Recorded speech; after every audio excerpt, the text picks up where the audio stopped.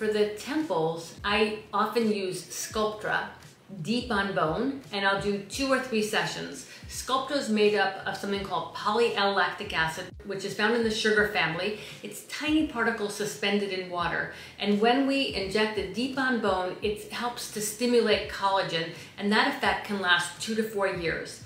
If I'm going to use a hyaluronic acid filler, sometimes I'll use Voluma the way we use Sculptra deep on bone. I just go in and put in a depot right on bone. And then when I want to finesse, I'll use Restylane with a cannula more superficial.